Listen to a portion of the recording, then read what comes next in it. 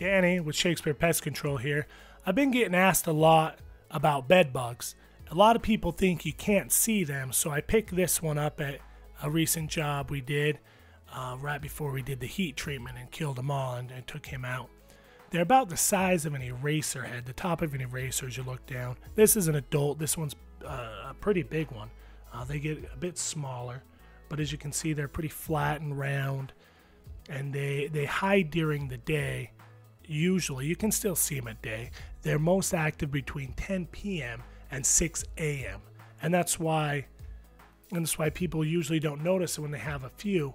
But as you start out an infestation, you can go from having having one come home with one pregnant one and have up to 5,000 in six months. And so the infestation can get, get out of control.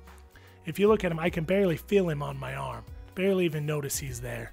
You want to look for, for blood smears in your sheets. You want to look for little bites, kind of look like mosquito bites, things to start paying attention to if you pick them up at a hotel. They hide in your mattress, the crevice of the mattresses, behind picture frames, in your clothes.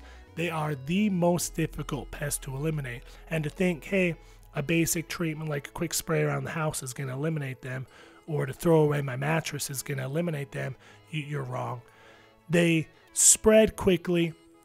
Here he is uh, drinking my blood, and I don't even notice it. I can barely tell. The only reason I notice is because I'm looking right at him and I felt, oh, look right there. I could have been watching TV and had no idea he was sucking my blood. So that's something to be aware of, pay attention to. If you feel you have bed bugs or would like to know more about them, give me a call at Shakespeare Pest Control 414 0284 or look us up online at shakespearepestcontrol.com. We'll work the bugs out for you.